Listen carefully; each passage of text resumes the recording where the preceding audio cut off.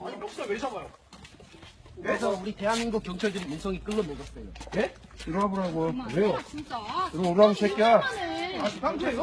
아, 진짜 조용히 하라고. 아, 진짜 뭐 하는 거? 아, 이거 찍어, 이거 찍어. 뭐해 새끼 하나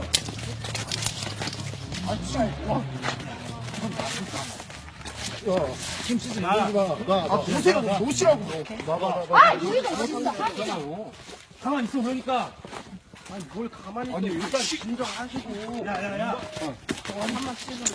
아, 뭐 하는 거야, 반대운이잖아, 진짜 이거. 경찰들이. 맞아, 경찰들 아, 경찰들이 왜 이래? 아, 우리나라 경찰 좀 해, 뭐냐? 아니, 애하다가 뭐 하는 거야? 가운데운이잖아. 아니, 아니, 뭐 하는 거냐고!